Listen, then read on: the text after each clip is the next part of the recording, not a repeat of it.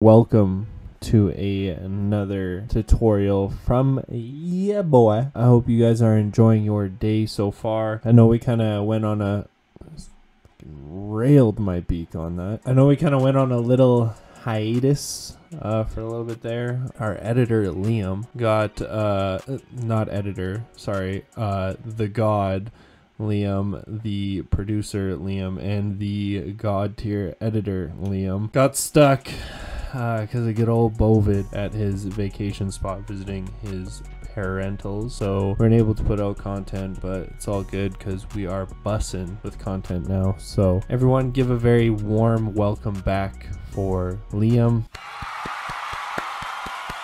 We are going to be pushing all the content, so be ready. Today we are going to be reviewing a beat I made a couple weeks back. Been really busy doing a lot of label stuff, so I haven't been making a lot of beats, fortunately, and I've been feeling like a dog shitter, and today's kind of the first day I've felt kind of normal, you know? Just starting to, starting to get back starting to get back there. Anyways, this is a beat I cooked up a little while ago. Uh, I used my boy Chris Blair's MIDI out of his new MIDI kit that he is going to be coming out with very soon here. It is a very powerful kit, so make sure you stay tuned for that.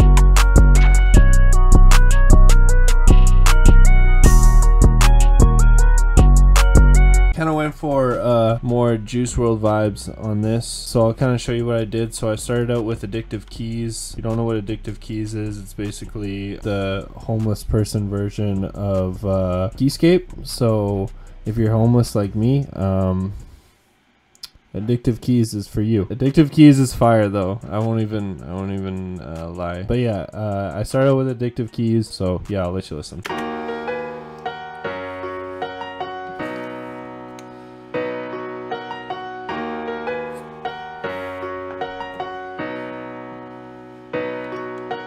That's what I started out with. I just kind of built off of that. For the next one, I'm pretty sure I just copied down what I had before. Yeah, I did. I just copied down what I had into Electra and I found this ARP, I believe it is, from Bro Beats. Shout out Bro Beats.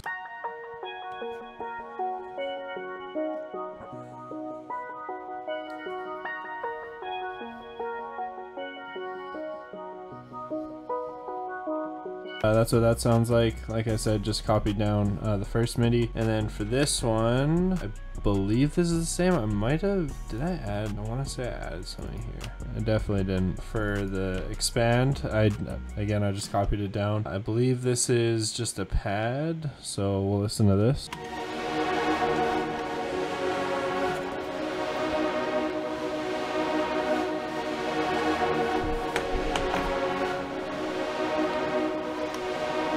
So yeah, just a nice simple pad just to kind of tie it all together. And then this is what I did myself and I think this is just a lead I believe yeah this is just a soft lead from uh, expand and this is what this sounds like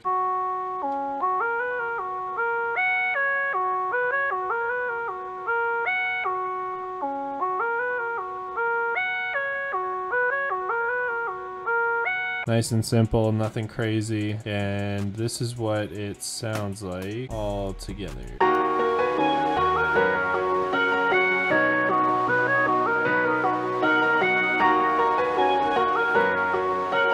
so yeah that's that's the melody for the beat for the drums again super simple i'm not gonna go through like the claps and shit because it's the same thing i literally do every single time everyone is doing this Everyone does this. You don't need to see this. But what I used was the bit clap from the Omega kit. Let me show you that. Boom! Busting on them. This is the Omega kit. Um, we will be dropping a new website very soon. Stay tuned. There's going to be a video coming out for that. New website. We're going to have a bunch of kits and shit in there from the label. So keep it locked. Uh, don't look at this. Stop looking at it. Oh!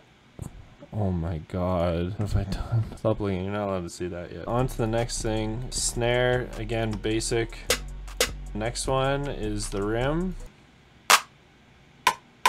Simple. And then the open hat.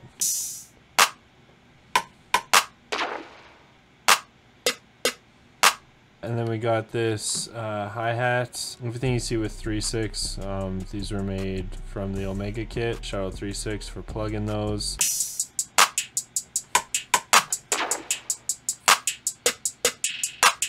Nice little pattern there. Brings a lot of bounce to the beat. And then we have the 808s. And this just follows the root notes of the beginning uh, MIDI that I have. As you can see, it is literally the exact same. I just chopped it into a pattern, obviously. And uh, this is what it sounds like.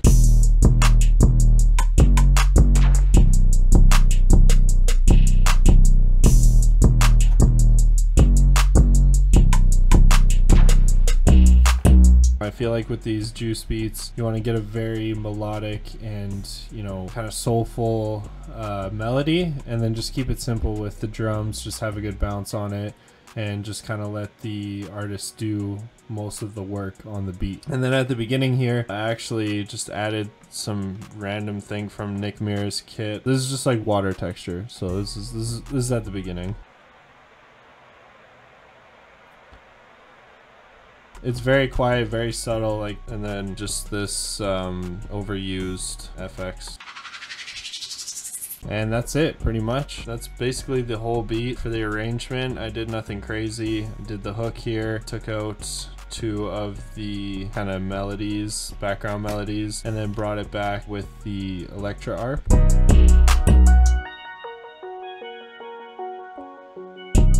And then just kind of let it drop like that and it kind of gives a really nice um, kind of hits the listener's ear a little harder when you kind of give it a little bit of time to build up and then it drops like that. I feel like that's really kind of i don't know just some ear candy uh, and kind of gives a little pocket for the artist as well too. That's uh, basically it for the entire beat. I hope you guys enjoyed. I hope you learned something. Thank you for stopping by uh, if you're here and um, make sure you guys keep it locked in here because we are going to be dropping a new website like i said very very very soon. And it's gonna have a bunch of free kits on there. Gonna have some really sweet merch that we've been working hard on and um, lots of really fire kits. You're not gonna want to miss it. I'm really really excited to get it out to you guys. I'm just waiting on a couple things right now. So definitely keep it locked and stay tuned for all that good stuff. If you want to follow me all my links and my socials will be down below. Make sure you join the discord as well too uh, for the label. And uh, yeah that's kind of all I got. So enjoy the rest of your day y'all and we'll we'll catch you soon. Peace.